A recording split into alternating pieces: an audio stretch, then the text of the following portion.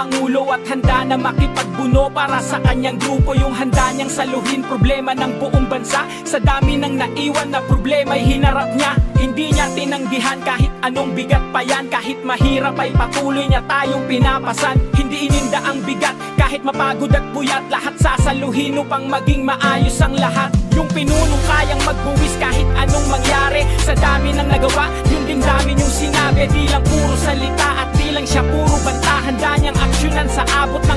magagawa? Nakakalungkot lang bakit ang dami pang bumabatikos Di daw na aksyon si tatay at hindi daw kumikilos. Kung alam niyo lang siguro pakiramdam niya ngayon. Lahat kanyang hinarap maging maayos lang kayo Salamat po tatay Digong sa lakas ng loob ninyo. Salamat dahil may isang pangulo na katulad nyo. Di sumuko na pagsilbihan ng bawat Pilipino. At yung tapang lakas ng loob ay walang sinisino. Di ka na mabubura sa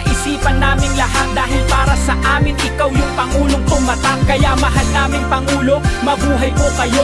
Di mabubura ang katapangang pinakita mo. Wala siyang labang inurungan kahit na ano pa yan. Tubong dabaw ang paninindigan niya ay malaman. Masakit magsalita, iba ang tabas ng bibig. Pero dahil doon maraming mga taong bumilib Di mo makakaila na di mo rin siya hinangaan. Sa dami niyang nagawa at magandang nabalitaan Kahit dami ang hadlang at ayaw sa kanyang ugali Di siya ang dapat sisihin kung ano ang nangyari. Di nyo dapat sumbatan, wala kayong karapatan. Dahil di madali ang lahat kanyang pangatawanan. Hindi tayo makakabangon kung siya lang lahat kikilos. Tayo ay magtulungan, imbis na siya ay ipatiko Sa nangyayari ngayon, ramdam niya kung ano ang hirap. Hirap na dinadanas ng bawat isang pamilya Na parang lahat tayo sa bansay nakakulong At pinipilit maayos lahat yun ni Tatay Digong. Salamat po Tatay Digong sa lakas ng loob ninyo. Salamat dahil may isang pangulo na katulad nyo. Di sumuko na pagsilbihan ng bawat Pilipino At yung tapang lakas ng loob ay walang sinisino. Di ka na mabubura sa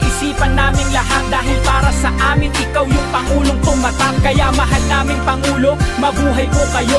Di mabubura ang katapangang pinakita mo. Sana naisip nyo man lang ngayon na sa kanyang edad Problema ng bansa at sa trabaho lagi siyang babad. Di niya lahat sinukuan yon kahit siya'y masagad At pinipilit niyan lahat ng sinabi niya'y matupad. Gusto niya na rin na matapos to kung anong nangyayari Dahil alam niya na ang nahihirapan ay marami.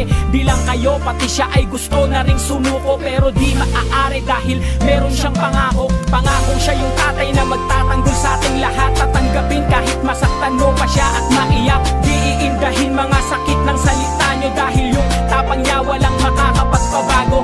Siya yung presidenteng di dapat patalsikin. Di dapat sinasaktan ng salitang matatalim. Yung Duterte nakilala nyo noon hanggang ngayon Di nagbago yun, siya pa rin yung Tatay Digong. Salamat po Tatay Digong sa lakas ng loob ninyo. Salamat dahil may isang pangulo na katulad nyo. Di sumuko na pagsilbihan ng bawat Pilipino At yung tapang lakas ng loob ay walang sinisino. Di ka na mabubura sa isipan naming lahat Dahil para sa amin ikaw yung pangulong tumatak Kaya mahal naming pangulo, mabuhay po kayo. Di mabubura ang katapangang pinakita mo. Salamat po Tatay Digong sa lakas ng loob ninyo. Salamat dahil may isang pangulo na katulad nyo. Di sumuko na pagsilbihan ng bawat Pilipino. At yung tapang lakas ng loob ay walang sinisino. Di ka na mabubura sa isipan naming lahat Dahil para sa amin ikaw yung pangulong tumatak Kaya mahal naming pangulo, mabuhay po kayo Di mabubura ang katapangang pinakita mo